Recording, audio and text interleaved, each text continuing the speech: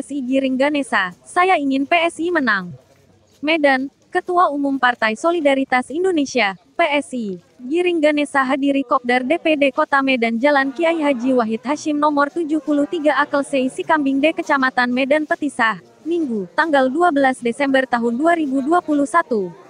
Diketahui sebelumnya Ketum PSI melakukan pelantikan di Hotel Garuda, kembali didampingi Ketua DPW PSI Sumatera Utara, Nezar Juli dan Ketua DPD PSI Medan, Renvil Napitupulu, anggota DPRD Komisi 3 Erwin Siahaan sekaligus DPC PSI Medan Johor. Hadir juga Sekjen DPD PSI Kota Medan Bukit Silalahi, Ketua DPC PSI Medan Labuhan Moan, DPC Medan Area Mulia Koto, Ketua Divisi OKK DPD PSI Kota Medan Sahat Haryanja, Kadif Penggalang Pemilih Pemula Kota Medan Roy Romero, perwakilan PSI Medan Tembung Togar Pesi Marmata, dan seluruh kader Partai Solidaritas Indonesia DPW, DPD, dan DPC.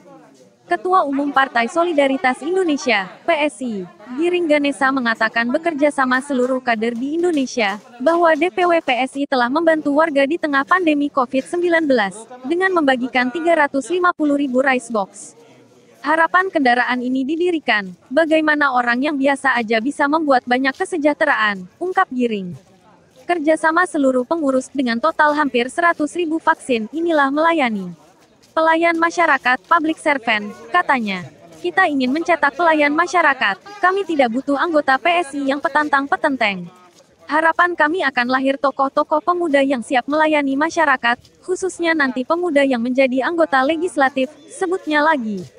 Kalau punya mereka punya integritas, siap melayani. Gak apa saya capek, keliling 150 kabupaten kota seluruh Indonesia, saya ingin PSI menang, ketusnya.